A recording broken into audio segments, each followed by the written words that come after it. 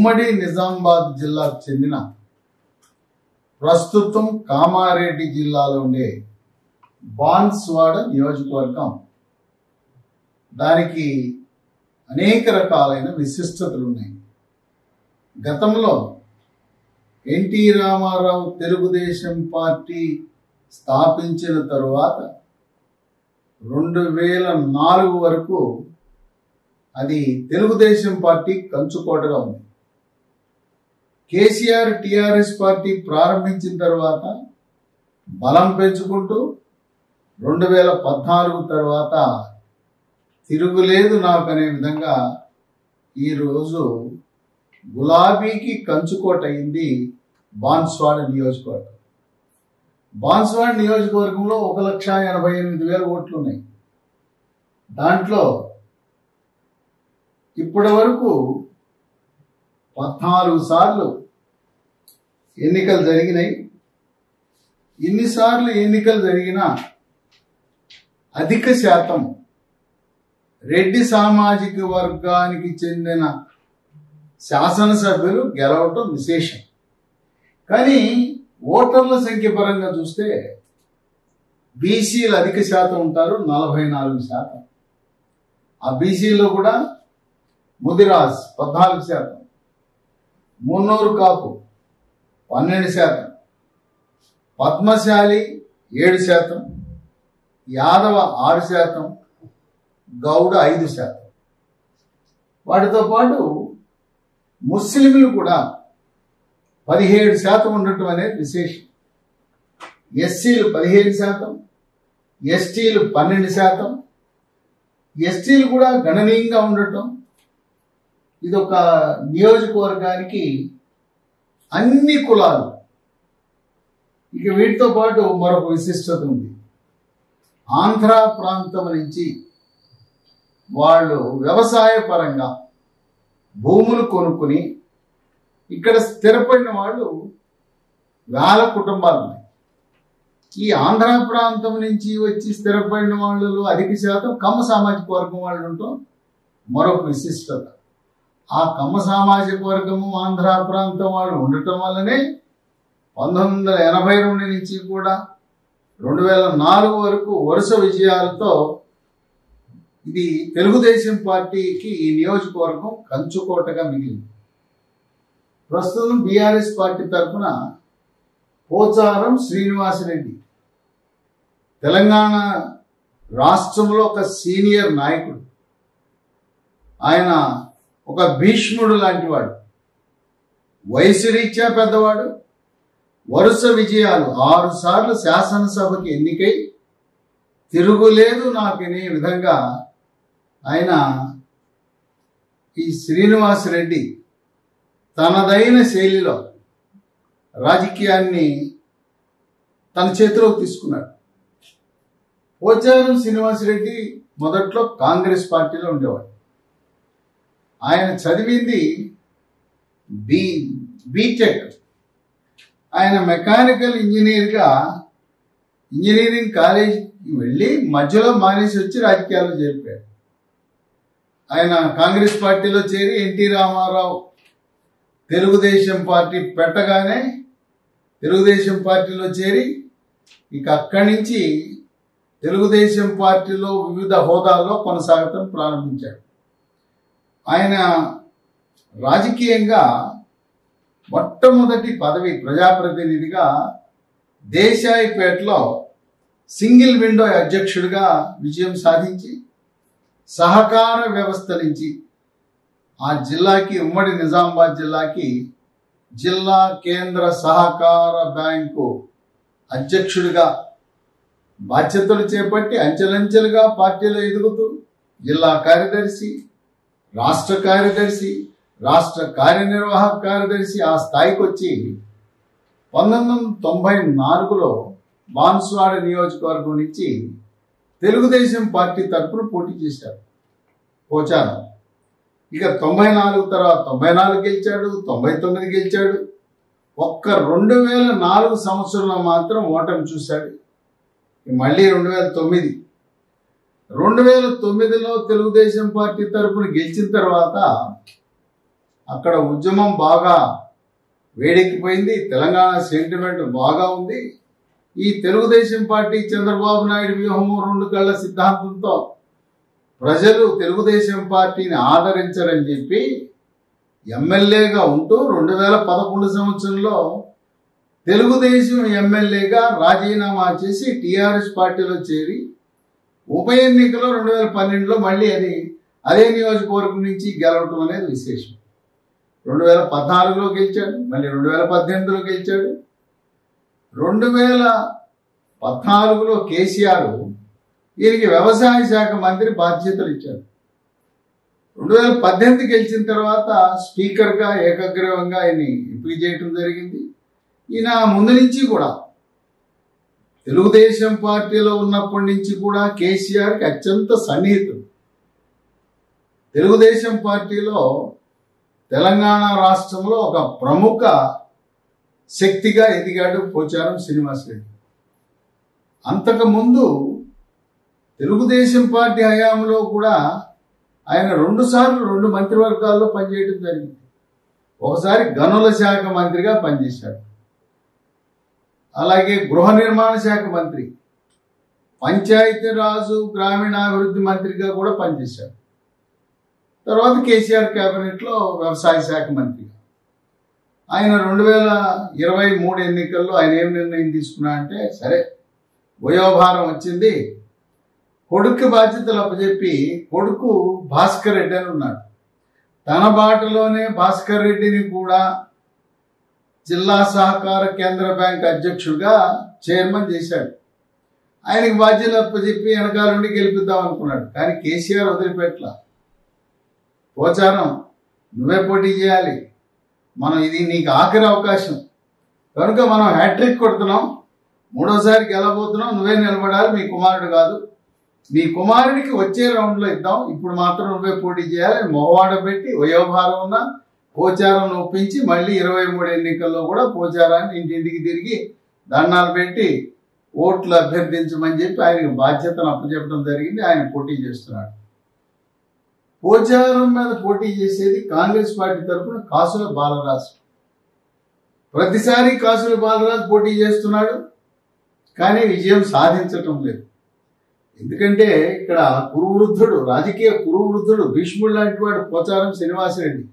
కాంగ్రెస్ తెలుగుదేశం తర్వాత ఇప్పుడు టీఆర్ఎస్ ఈ మూడు పార్టీలలో తనదైన శైలిలో రాజకీయం నిర్వర్తిస్తూ ప్రజాభిమానం పొందిన వ్యక్తిగా ఈ కాంగ్రెస్ పార్టీకి సమీపంలో రాకుండా కూడా విజయభేరి మోగించుకుంటూ వస్తున్నాడు.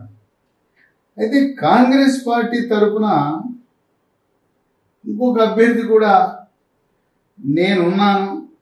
నేను పోటీ చేయాలని చెప్పి పోటీ పడుతున్నాడు కానీ కాసుల బాలరాజుకి సీట్ ఇస్తారు ఆయన ఎవరంటే చందూర్ మండలం జెడ్పీటీసీ అంబర్ సింగ్ అని ఉన్నాడు. ఆయన కూడా నేను టికెట్ కావాలి కావాలని ఆశించిన కాసుల బాలరాజు యొక్క అభ్యర్థిత్వం దాదాపు ఖరారు. ఈ నియోజకవర్గంలో తొమ్మిది మండలాలు ఉన్నాయి. చాలా పెద్ద నియోజకవర్గం. ఓట్లు తక్కువ ఉన్నా మండలాలు మాత్రం చాలా ఎక్కువ ఉన్నాయి.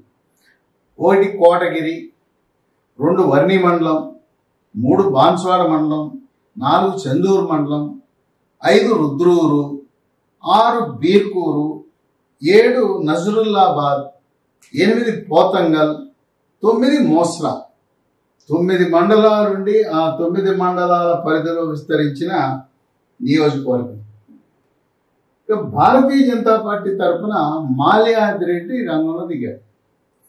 ఈయన తన సేవా కార్యక్రమాల ద్వారా ప్రజలకు దగ్గర అవ్వాలని ప్రధానమంత్రి మోదీ కేంద్ర ప్రభుత్వ పథకాలు ఏ విధంగా గ్రామీణ వాసులకు అవి లబ్ధి చేకూరుస్తున్నాయని అనేకమైన కేంద్ర పథకాలను ప్రజల దగ్గరికి చేరువ చేస్తూ భారతీయ జనతా పార్టీ తరఫున పోటీ చేయాలని ఉన్నారు.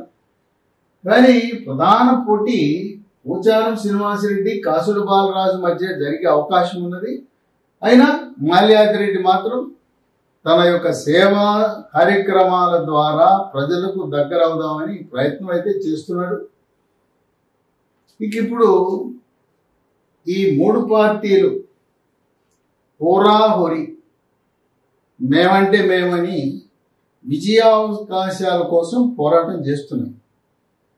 ఇక ఈ బీజేపీ తరఫున ఒక ప్రవాసాంధ్రుడు ప్రవాస భారతీయుడు ఎన్ఆర్ఐ నేను కూడా ఉన్నాను అని ఆయన ప్రయత్నాలు ఆయన చేస్తున్నాడు. అయినా కూడా మాల్యాద్రి రెడ్డి ప్రస్తుతం రాష్ట్ర కార్యవర్గ సభ్యుడిగా ఉండటం ఉత్సాహంగా కార్యక్రమాలు చేస్తుండడం వల్ల ఆ ఎన్ఆర్ఐగా ఉన్న ఆ బీజేపీ అభ్యర్థికి దరఖాస్తు పెట్టుకున్న ఆయనకు వచ్చే అవకాశాలు తక్కువ.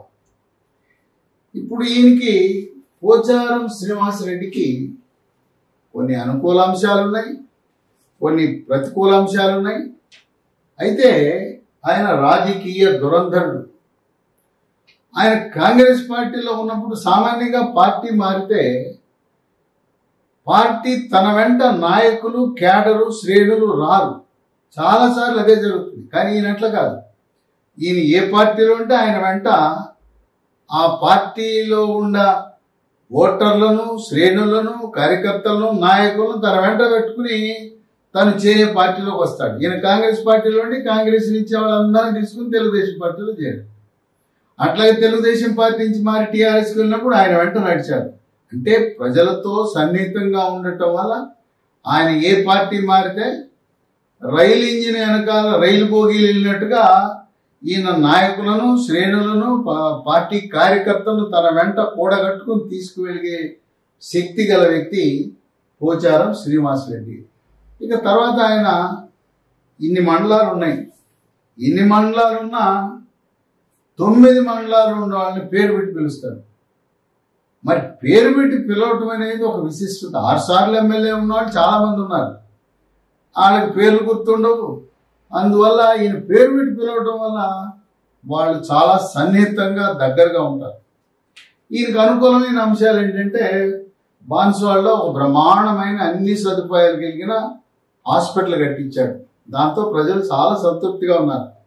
ఇక రెండు సాధారణంగా నర్సింగ్ కళాశాల అంటే అది మెడికల్ కాలేజీకి అనుబంధంగా జిల్లా కేంద్రంలో ఉండవలసిన నర్సింగ్ కళాశాల పట్టుబట్టి నా నియోజకవర్గంలో కావాలని చెప్పి పోచారం నర్సింగ్ కళాశాలని బాన్సువాడలో ఏర్పాటు చేయటం అనేది ఒక విశేషం.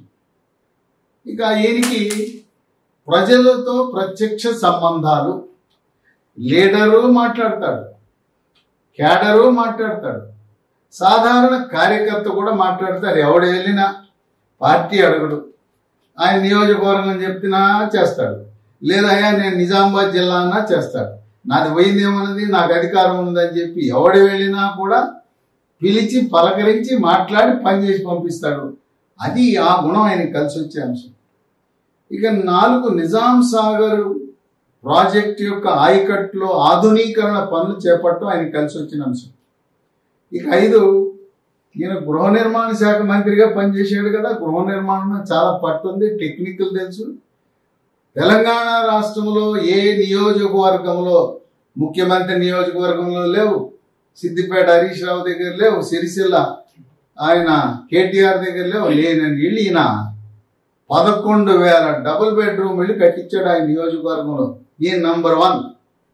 అంటే ఆ శాఖలో పనిచేయటం వల్ల అనుభవం పట్టుదల తర్వాత అందరూ కూడా అధికారులు స్పీకర్ చెప్తే మాట వింటారు ఆ విధంగా రికార్డు సృష్టించాడు. పదకొండు వేలు ఇల్లు కట్టించి ఇప్పటికే ఏడు వేల మంది గృహప్రవేశం చేసి నివసిస్తున్నారు. మిగతా వాళ్ళు నాలుగు వేలు కూడా త్వరలో గృహప్రవేశం చేయబోతున్నారు. ఆ రకంగా రికార్డు సృష్టించాడు పోచారు.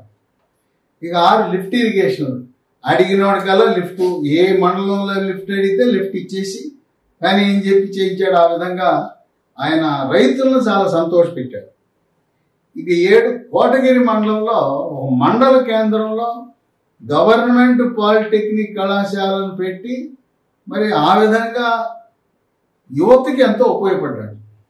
ఇక ఎనిమిది ఎక్కడ చూసినా సబ్ స్టేషన్లు ఏ ఊర్లో అడిగితే ఆ ఊర్లో అడిగితే సబ్ స్టేషన్ ఇక తొమ్మిది రోడ్లు బంగారం లాగా ఎక్కడ చూసినా బంగారం లాంటి రోడ్లు.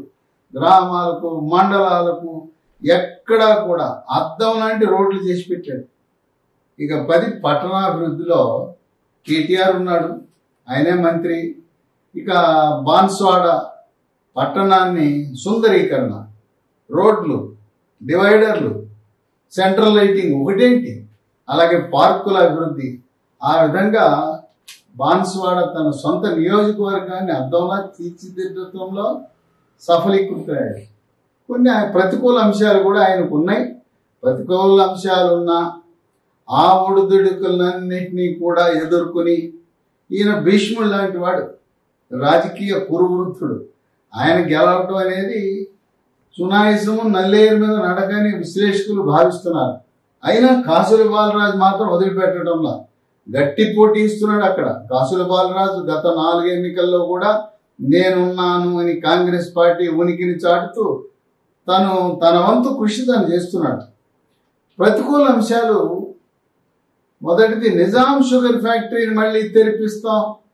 రైతులకు న్యాయం చేస్తామనేది ఆ వాగ్దానం హామీ. నీటి మూటైంది నిజాం షుగర్ ఫ్యాక్టరీ తెరవలేదు. తెరిచే అవకాశాలు కూడా భవిష్యత్తులో లేవు. ఇక రెండు కొన్ని ట్రాక్టర్ల పంపిణీ జరిగింది. ఈ ట్రాక్టర్ల పంపిణీలో సబ్సిడీ కేంద్ర రాష్ట్ర ప్రభుత్వాలు ఇస్తాయి. ఈ ట్రాక్టర్ల పంపిణీలో అవకతవకలు అవినీతి జరిగిందనే ఆరోపణలు ఉన్నాయి. మూడోది మరి ఇంత అనుభవం కలిగిన వ్యక్తి ఉంటే పిల్లలు బీసీలు ఎస్సీలు ఎస్టీలు వాళ్ళకి సొంత భవనాలు లేకుండా అద్దె భవనాల్లో హాస్టల్స్లో ఉంటున్నారు. ఈ ఈ నియోజకవర్గంలో ఉండే ఈ సంక్షేమ హాస్టల్లో పిల్లలు అది మాత్రం కొంత వెల్తీగా కనపడతాం. ఇక నాలుగు గల్ఫ్ బాధితులు ఈ నియోజకవర్గంకి నుంచి గల్ఫ్కి వెళ్ళిన వాళ్ళు అనేక మంది ఉన్నారు. ఇక వాళ్ళ బాధలు వర్ణనాతీతం. ఆ గల్ఫ్ బాధితుల యొక్క సమస్యలు పరిష్కరించడంలో ప్రభుత్వం కానీ పోచారం కానీ మాకు ఉపయోగపడలేదనే ఒక వాళ్ళల్లో అసంతృప్తి గూడుగట్టుకున్నది. ఇక ఐదు సిద్ధాపూర్ రిజర్వాయర్ ఆర్భాటంగా కేటీఆర్ వెళ్ళి దాన్ని ప్రారంభం చేశాడు కానీ సిద్ధాపూర్ రిజర్వాయర్ నిర్మాణం పనులు నత్తనడక నడవడం వల్ల ఆ ప్రాంత రైతులు కొంత అసంతృప్తితో ఉన్నమాట వాస్తవం. ఇంకా ఆరు జాకోరా చండూరు లిఫ్ట్. ఇది పోచారం దంచుకుంటే నా అయిపోతుంది. కానీ జాకోరా చండూరు లిఫ్ట్ ఇంత ఆలస్యం అవటం అనేది రైతులు చాలా అసంతృప్తిగా ఉన్నారు. మా పోచారం అంత సీనియర్ కేసీఆర్ దగ్గర ఆయన అనుకుంటే ఇది కాదా ఈయనేదో సరిగా పట్టించుకోవడం లేదనే భావం రైతుల్లో ఉంది. ఇక ఏడు ఈయన కుమారులు ఇద్దరు. వాళ్ళ వల్ల కొంత ఈయనకి కొంత ప్రతిష్ట మసకబారుతున్నది అని విశ్లేషకులు భావిస్తున్నారు. భాస్కర్ రెడ్డిని రాజకీయ అనుచరుడిగా రాజకీయ వారసుడిగా పెట్టాలని కోరినా భాస్కర్ రెడ్డి ఇంకో కొడుకు సురేందర్ రెడ్డి వీళ్ళిద్దరి మధ్య టగ్ ఆఫ్ వార్ నేనంటే నేను. వాళ్ళల్లో ఐక్యత లేకపోవటం వాళ్ళిద్దరూ చెరో దారి. నాకంటే నాకు రాజకీయం అని ఇద్దరు కూడా పోటీ పడటం తర్వాత వాళ్ళిద్దరిపై కొంత అవినీతి ఆరోపణలు కూడా రావటం అనేది వాస్తవం. పోషారం ఎవరు ఏమనరు. కానీ ఇక్కడ ఒకటి విన్నది ఏంటంటే కొడుకులు ఇద్దరు వాళ్ళే రాజకీయం చేస్తారు. పెత్తనం వాళ్ళదే. తర్వాత అల్లుడు కూడా జోక్యం చేసుకుంటాడని. ఇంకొకటి ఏంటంటే ఇక్కడ అసంతృప్తి. మేము ఎన్నికైన జడ్పీటీసీలు ఎంపీపీలు ఎంపీటీసీలు మేముండగా అసలు మాకు ప్రమేయం లేదంతా కొడుకులు అల్లుడే సరిపోయింది. ఇంకా మాకేముంది? మమ్మల్ని నీరుగా చేశారు మాకు అధికారాలు లేవు అంతా కూడా కొడుకులే పత్రం చేస్తున్నారు అనే అసంతృప్తి ఈ ఎన్నికైన పంచాయతీ సర్పంచులు ఎంపీటీసీలు ఎంపీపీ జెడ్పీటీసీలో ఉండటం అనేది కొంత ఆయనకి ప్రతికూల అంశం. ఇంకా ఎనిమిది దళిత బంధు. దళిత బంధు ఎంపికలో దళిత బంధు కేటాయింపులో ఎంపికలోను కేటాయింపులోను ఇక్కడ డబ్బులు చేతులు మారాయని ఈ ఉచారం కుటుంబ సభ్యులు కాకపోయినా బీఆర్ఎస్ క్యాడరు చేతి వాడడం కొద్దీ వాళ్ళకి కావాల్సిన వాళ్ళకి డబ్బులు తీసుకుని దళిత ఇచ్చారనే ఆరోపణలు ఉన్నాయి. ఇక తొమ్మిది డబుల్ బెడ్రూమ్లో రికార్డు సృష్టించాడు పోచారం. పదకొండు వేలు. కానీ ఈ డబుల్ బెడ్రూములు ఎంపిక ప్రక్రియలో కేటాయింపు ప్రక్రియలో డబ్బులు చేతులు మారినాయి. క్యాడర్కి బాగానే గిట్టుబాటు అయినాయి. బీఆర్ఎస్ నాయకులు శ్రేణులు గ్రామంలో ఉండే వాళ్ళకి ఏదో తులమం ఫలమం ముట్ట చెప్పకపోతే డబుల్ బెడ్రూమ్ రావటం లేదు అనే ఆరోపణలు ఉన్నాయి. ఏదేమైనా ఈ ఎన్నిక రసవత్తరం కాబోతా ఉంది. పోచారంకి ఆఖరి ఎన్నిక. కానీ కాసుల బాలరాజు మాత్రం పట్టు వదలను విక్రమార్కుడు ఎప్పటి వలనే నేనున్నాను అని చెప్పి ఆయన మాత్రం గట్టి పోటీ ఇస్తున్నాడు. ఈసారి మాల్యాదిరెడ్డి నా సేవా కార్యక్రమాలతో ప్రజల మనసులకు దగ్గరై మోడీ గారి కార్యక్రమాలను మోడీ గారి యొక్క హవాని మోడీ గారి యొక్క ఆయన వ్యక్తిగత ప్రతిష్టను ఆసరాగా తీసుకుని ఆయన కూడా సమర్థవంతంగా ప్రజల మధ్య తిరుగుతూ అక్కడే నివసిస్తూ ఓట్లు సాధించి గట్టి పోటీ ఇవ్వాలని చెప్పి భారతీయ జనతా పార్టీ తరఫున మాల్యాదిరెడ్డి కూడా ఆయన కూడా ప్రయత్నం చేస్తున్నాడు. ఏదేమైనా బాన్స్వాడ యొక్క ఓటర్ల నాడి వాళ్ళందరూ కూడా కాంగ్రెస్ తెలుగుదేశం టీఆర్ఎస్ ఆయనతో కలిసి ప్రయాణం చేశారు. ఆ ప్రయాణం చేసిన తర్వాత స్పీకర్ అయిన తర్వాత ఆయన ఎక్కువ నగరానికే పరిమితం అవుతున్నాడు. నియోజకవర్గం యొక్క సందర్శన తగ్గింది. కుటుంబ సభ్యుల యొక్క వాళ్ళ యొక్క జోక్యం పెరిగిపోయింది. అక్కడక్కడ ఆరో అవినీతి ఆరోపణలు రావటం ఇవంతా కూడా పోచారం శ్రీనివాసరెడ్డికి ఏమి ఇబ్బంది కలిగించకపోయినా ఓటర్ల నాడి మనం పట్టడం కష్టమే. అయినా రాబోయే ఎన్నికల్లో ఇది ప్రతిష్టాత్మకమైన బాన్స్వాడ్ నియోజకవర్గంలో ప్రజల నాడి ఓటర్ల నాడి ఎలా ఉంటుందో ఈ ఎన్నికల్లో వేచి చూద్దాం.